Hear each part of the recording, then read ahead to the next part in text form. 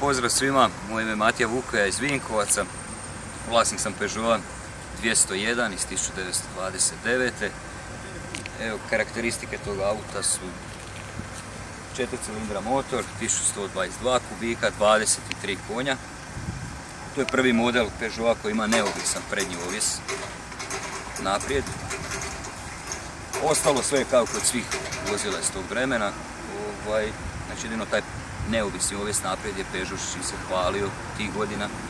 A sve ostalo je kao i čak i kod američkih auta. Znači Ford imao tako neki sličan oblik, sve su to bile priče tako.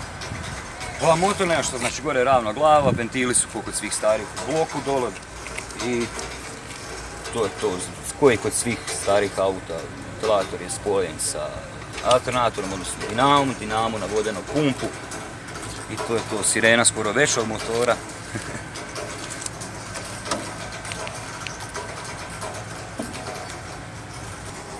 Unutrašnjost, najbitniji satovi, čak ima i pokazivač za gorivo.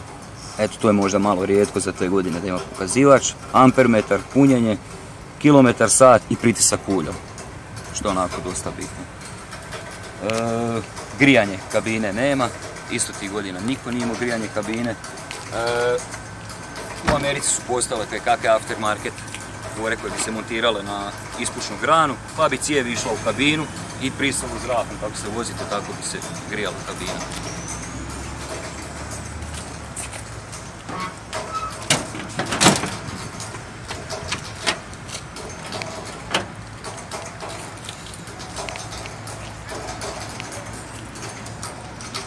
Nema, evo privremeno sam skinio rezervni točak, inače ima iza rezervni točak nešto radi, pa sam skinio.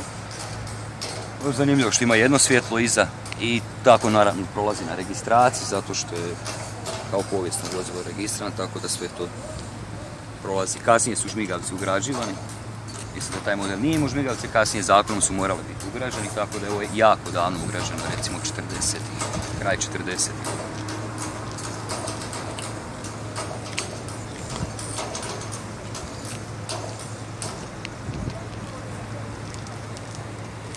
kad mi je dovezao njega, sredio sam ga, bio je dosta zapušten i uvijek mi je bilo ono pitanje, želio sam imati prije ratni auto i uvijek sam se pitao da li bi ja to mogao voziti svaki dan, bila želja voziti svaki dan. I evo vozim se svaki dan, iako je malo slabašan, navikao sam se, mali grad, ljudi se sporo voze, tako da čak nekog i običan. Aha! Četiri cilindra, 23 konja, 1122 Uh, benzinac. Je, benzin, to mijenjač, tri brzine, bez sinkrona. To je onako malo problematično dok se čovjek ne navikne kako prebacivati.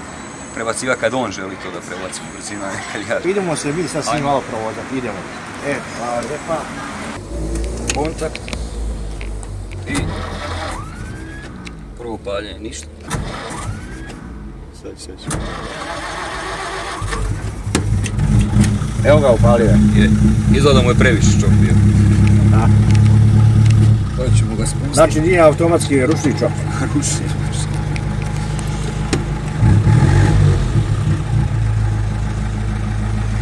Evo, dragi gledatelji, krenemo, krećemo u vožnju kroz Vinkovce u automobilu starom 93 godine. Matija, lijepo, prilično dobro radi. Je, poštima je. Šta je kod njega najveći problem? Pa dobro, malo je, malo je bučniji. Da, problem je što ne možemo pričati dok se brzo. A zato treba uživati u vožnju. Da. Zato želimo uživati, znači vozimo se kroz Vinkovce. E, vi kad krenete pričati, ti si kočan. Aha, da, da, da. Ovaj automobil koristi uh, svaki dan. Je. Za vaše potrebe idete se s njim i u trgovačke centre. Je, Ovo uglavnom to. ovo loko vožnja, jel? Da, pa odem i do Osijeka, odem do Đakova, ovaj, god mi se da, ali baš mi je cilj koristiti ga svaki dan, baš doživi taj osjećaj svakodnevne vožnje kao što se tada vozilo prije 90.